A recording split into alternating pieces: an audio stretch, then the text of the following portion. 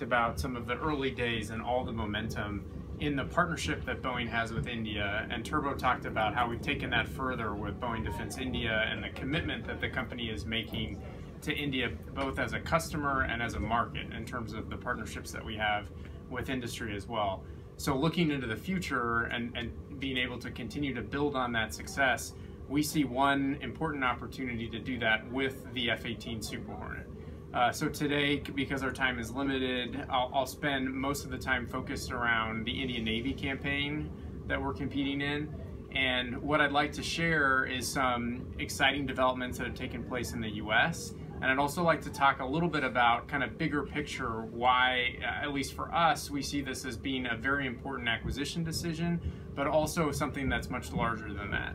So first on the exciting developments in the US. So the US Navy has made a decision to invest in an evolutionary capability stepping stone of the Super Hornet. So it's encapsulated in what we call Block 3. That includes some major capability enhancements and includes a new airframe life that goes from 6,000 hours to 10,000 hours, so very significant in terms of the life of the airframe that that will bring. It brings a new advanced cockpit system. So that's a large area display that's in the cockpit.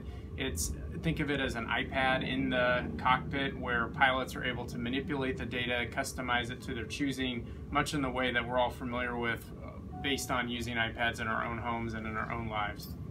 It comes with a new computer and a new data link, and that allows the F-18 to be networked with the other assets in the force something that is becoming increasingly important for air forces and, and navies around the world as they face threats um, in, in regions such as the one that, that India finds itself in.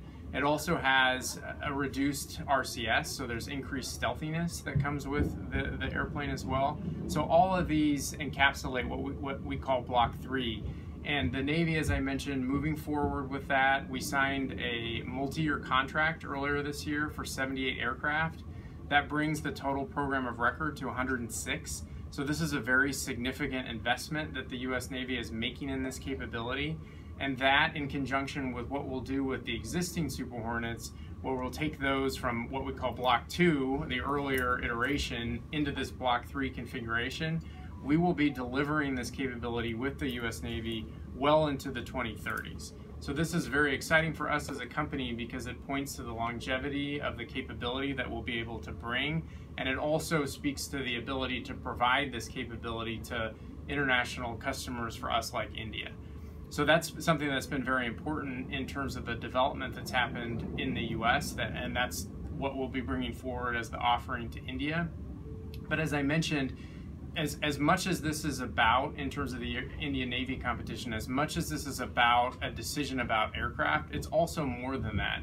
And what do I mean by that? What I mean is that, as you all know better than I, these aircraft will be operated from Indian Navy carriers, and so it's it's a choice about aircraft, but it's also a choice about naval aviation. Yes. When you speak about Indian carrier, which carrier you are talking about? So what the Indian Navy has said is that the the, the RFI and the interest that they've had in in, in aircraft is for You're talking the about IAC one or IAC two. What Indian Navy? I mean, I don't want to speak on behalf of what the Indian no, Navy plans, but what they've said publicly is for INS Vikramaditya oh, and okay. potentially for IAC one as well. All right. Um, so certainly that is an important decision that the Indian Navy and the Indian government needs to make.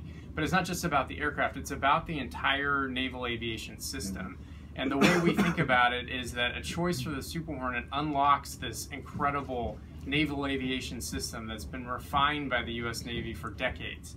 And the scale that the US Navy has with with, you know, 10x carriers times the the next largest nation in terms of number of carriers out there and the fleet size. So just the experience that the Navy has, the investment that they've made, those are all things that, that India, as an example, could buy into, could choose as a result of aircraft selection. So for us, again, very important that this is about airplane capability, but also thinking about the complexity of naval aviation and the ability for the airplane to be able to land, to be able to operate on the carrier, the symphony that really has to occur in all of that. That's why for us, this is a, this we think is a very compelling option for the Indian Navy, and we're very proud to offer it.